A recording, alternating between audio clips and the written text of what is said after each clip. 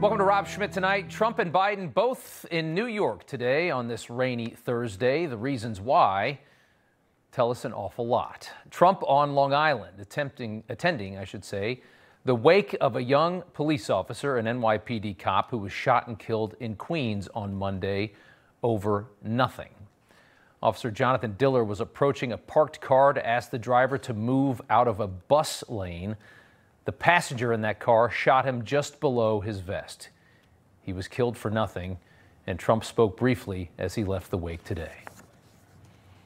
What happened is such a sad, sad event, such a horrible thing, and it's happening all too often, and we're just not going to let it happen. We just can't. 21 times arrested, this thug, and uh, the person in the car with him was arrested many times. The Diller family will You'll never be the same. You can never be the same. And we have to stop it. We have to stop it. We have to get back to law and order. We have to do a lot of things differently because this is not working. How a lot of people feel. The stain on society that shot Officer Diller is 34 year old Guy Rivera, arrested 21 times, nine felonies, including attempted murder, allowed to just terrorize this city endlessly, it seems. Rivera was shot and wounded by Officer Diller's partner. Sadly, he survived. And to give you just an idea of the level of human that we're talking about here, NYPD says doctors found a small knife in his rectum when they took him to the hospital. This guy is arrested so often, he kept a shiv inside of his bum for the protection that he needed for the next time he's going to jail. These are the people that our new lawless left wing society is working vigorously to protect them and pretty much no one else. Last night, we detailed a new trend random attacks on young women in New York, something that has just exploded on social media in the last couple of weeks. These stories are suddenly everywhere. And they're being committed by the violent madmen that our woke DAs are now refusing to contain. I literally just got punched in the face by a homeless man, like literally walking to the gym. Seeing videos like that all over, pummeling young women as they walk down the street. The good people of our society have been stripped of their quality of life, shamed into accepting lawlessness by radical ideologues who have taken power in blue cities where conservatives have either fled or no longer even bother to vote. And the reason it doesn't stop, of course, goes all the way to the top. Our state leaders California, New York, Illinois haven't ended this because they've gotten really no pressure to, especially from above. Joe Biden sits back and watches as American quality of life is decimated. He could fix this with a series of phone calls. Throw some political weight around, the message would be easily felt. The woke DAs would quickly be ousted by the governors. The Democrat populations in these cities, of course, would support it because almost everybody hates lawlessness. But at the end of the day, the President of the United States does absolutely nothing about this. Ask yourself why. Biden flew right past Officer Diller's wake today to come to Manhattan for a fundraiser with Obama and Bill Clinton tonight.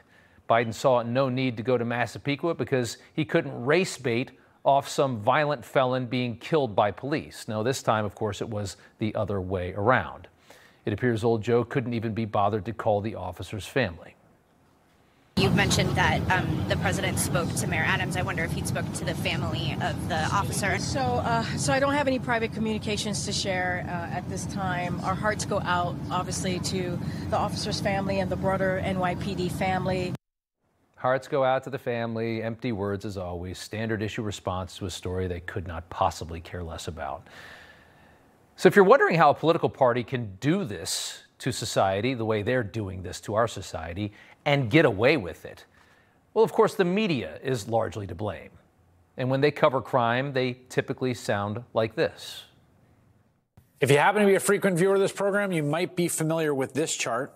Uh, the picture it paints is about as clear as it gets. There was a record spike in violent crime under Donald Trump in 2020. Sh- shoots up to the left there. There's been a consistent decline since President Joe Biden took office.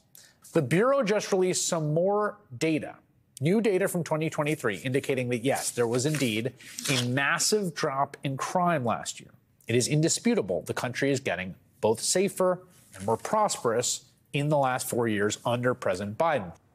And the BS factory from Rachel Maddow's twin brother there. It shot up under Trump, he starts with. What he means to say, of course, is that they, the media and the Democrat Party, stirred up complete chaos before the 2020 election to destabilize the country and inspire the black vote to carry Joe Biden, a candidate that nobody really cared about and everybody thought was too old.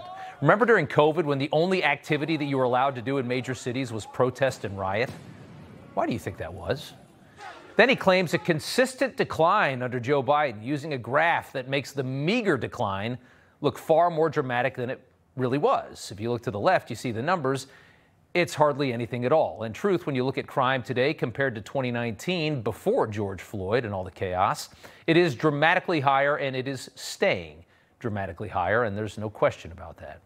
Of all the American cities, San Francisco, of course, has been the one that's moved the furthest down the left's road to hell. And it's finally gotten so bad their uber liberal voting base is now waking up because it basically has to collapse before people actually wake up to the reality of the hell they've created.